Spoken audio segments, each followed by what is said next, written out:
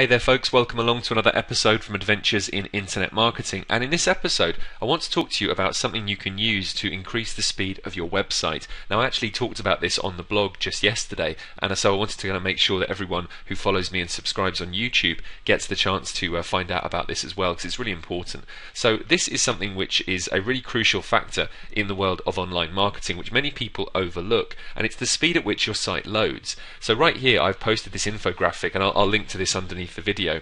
But this infographic shows you how your load time of your site affects your Google rankings. Now, of course, I should have your attention already because Google is, I think, 83 or 84% of the search market right now, and it seems to be growing. So it's kind of basically taking over the internet. And if you're not ranking in Google, then you are going to miss out on a lot of traffic for your site. So this is a really good thing to check out. This is from a guy called Neil Patel, who is a, a bit of a, a, guru when it comes to the world of, uh, of search engine optimization, and he's a real master when it comes to increasing traffic to websites and also making you more money. That's really his thing. So uh, his site is QuickSprout, so I'd suggest you check that out. Anyway, this really shows you exactly how this all works and why you should go ahead and fix it. And in a minute, I'm going to show you some tools you can use to actually fix it and make your site run more quickly. I've also down here as well put in my before and after results from this particular uh, experiment that I ran. And the experiment uses a plugin called the P3 Plugin Performance Profiler.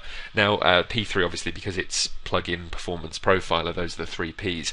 And you can see right here that these are the results of a scan that I ran on my site. Now I'm actually in kind of increasing this all the time, and I've been again playing about with it again today, using some plugins more than others, and kind of changing features from Jetpack, for example, turning off a lot of the features on Jetpack, and that made my site run faster. So I've been playing about with it quite a lot, and all in all, what this has done for me, this uh, this plugin, is first of all I installed it and I ran a scan, and the scan tells me, as you can see on the screen right here, exactly which plugins are causing my site to run slower, which ones are taking up the most amount of, of load time, basically.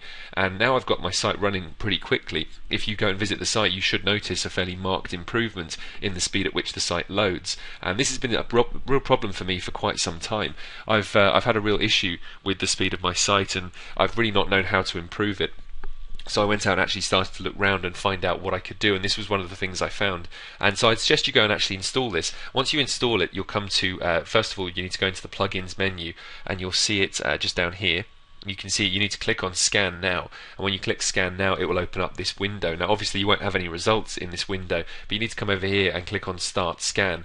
Now, when you click on that, it will open up this uh, two sets of windows. The main window at the back is the one that's actually going to be doing the scan and the one in the foreground is the one that just talks to you about the scan name. And what you need to do is go ahead and click on auto scan. Uh, manual scan is just a bit too messy and just takes a bit too much uh, effort, really, uh, especially if you're not particularly familiar with exactly how to do it, which I'm not. So uh, go ahead and click auto scan, that's more than enough. And what it will do is it will scan the entire website and help you to improve uh, the speed of the site, which is very cool. So once it's uh, it's scanned the whole thing, obviously you can go back to this main window and it will tell you all the details, tell you how many plugins you've got active, how long the plugins take to load, and also the impact they're having on your page load time. Now, I've been playing about with this, and actually, this has gone uh, really high right now. The plugin impact is pretty high. The reason for that, though, is because I'm using a plugin called W3 Total Cache, which I'll do a separate video on another time. I'll do a, a different episode of the, uh, uh, the, the the podcast and the videos and all that in order to talk to you about that one.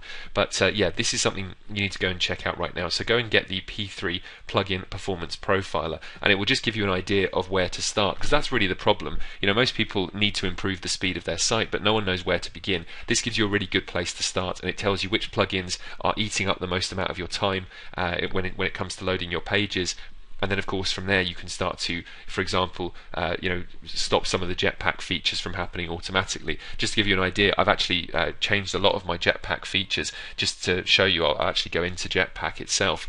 And inside jetpack there's an awful lot of features that are wonderful but they do take up a lot of time when it comes to loading your page. So, for example, the only ones now that I'm running are the publicize one, uh, subscriptions option, the sharing option, uh, the contact form, and uh, the enhanced distribution. So, that really, all things that will help me to promote my site. But those are the only ones I'm running. Everything else I've deactivated.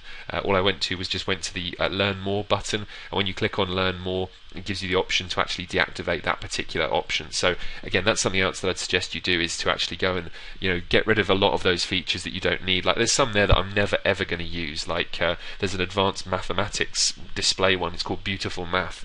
There's no way I'm ever going to need to use that. I don't do anything in that world, and I have no desire to either. I'm very not very good at maths, so this is something that you know you can go ahead and uh, and, and you know not use on your site if you have a blog or a, a website that doesn't require it. So go ahead and uh, check that out right now. Go and check out the P3 uh, plug-in performance profiler and uh, once you've installed it you just click on scan now and it will show you exactly what you need to change on your site. So that's a really good good start and uh, in the next video I'm going to be showing you exactly uh, how you can go and make your site even faster using a very cool tool that I mentioned earlier on called W3 Total Cache. So uh, yeah go ahead and check out that video. Make sure you subscribe so that you can see exactly when that video goes live and of course you will find out more tips tools and news from the world of online marketing. Thanks ever so much for listening and I'll speak to you again very soon